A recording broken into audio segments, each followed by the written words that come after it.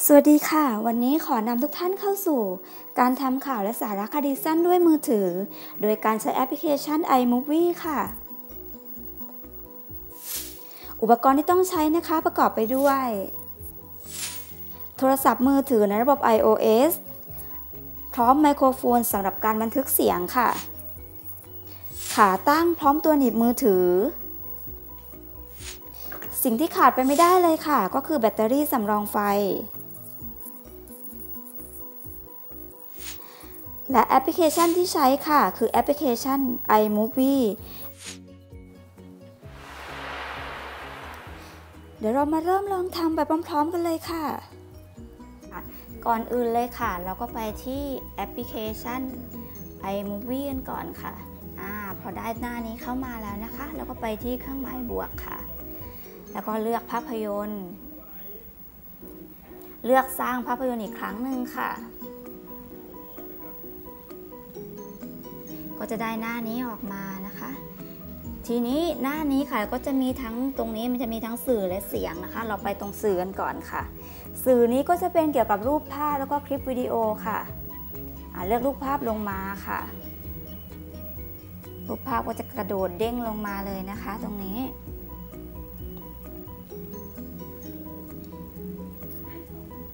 เมื่อได้รูปภาพแล้วค่ะวิดีโอก็เช่นเดียวกันค่ะ ก็ไปตรงที่วิดีโอค่ะ แล้วก็เลือกวิดีโอที่เราจัดเตรียมมาไว้ลงมาค่ะ คลิกเครื่องหมายบวกอีกครั้งหนึ่งค่ะ ก็จะกระโดดลงมาเหมือนกันค่ะ ตรงนี้ ในส่วนของเสียงค่ะ ตรงนี้ เราสามารถฟังเสียงก่อนที่จะตัดสินใจเลือกได้ค่ะ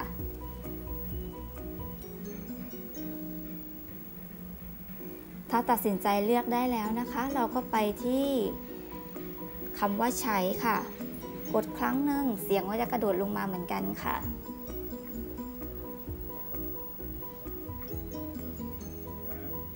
เมื่อเราได้ภาพได้เสียงได้วิดีโอแล้วค่ะ มาดูตรงนี้นิดนึงตรงนี้ค่ะเราสามารถขยายยืดเข้ายืดออกได้นะคะตรงนี้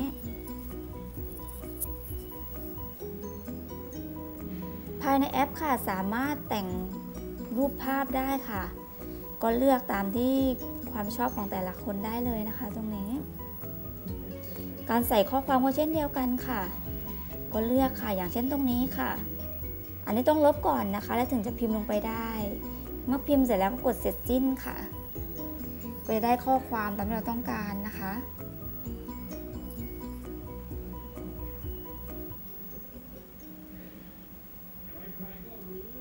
เมื่อเสร็จแล้วค่ะไปที่เสร็จสิ้นค่ะ มันจะเซฟโดยอัตโนมัติเลยนะคะ ถ้าต้องการแก้ไขอีกครั้งหนึ่งก็เข้าไปที่แก้ไข ตรงนี้ค่ะสามารถแก้ไขได้ทั้งหมดเลยค่ะ ทั้งภาพเสียงและวิดีโอ เดี๋ยวลองมาดูหน้าจอเต็มๆนิดนึงนะคะ ก็จะประมาณนี้นะคะ ก็เล่นเต็มหน้าจอเลยนะคะ แบบนี้การนำวิดีโอออกจากภายในแอปนะคะ ก็ไปที่โหลดวิดีโอค่ะ เลือก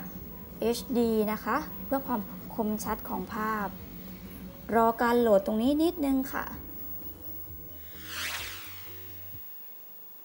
เดี๋ยวเรามาดูตัวอย่างค่ะ จากการใช้ iMovie ในการจัดทำค่ะ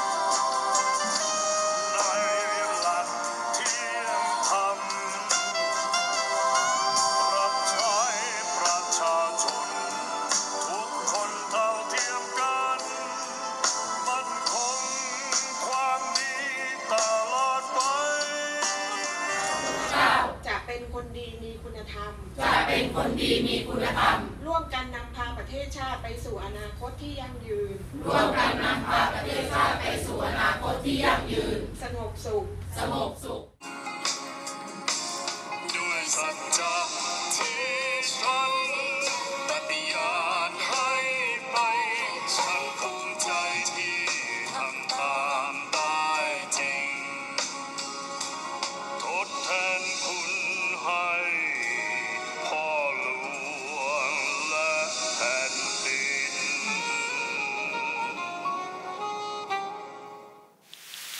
ที่จบลงไปนั้นค่ะ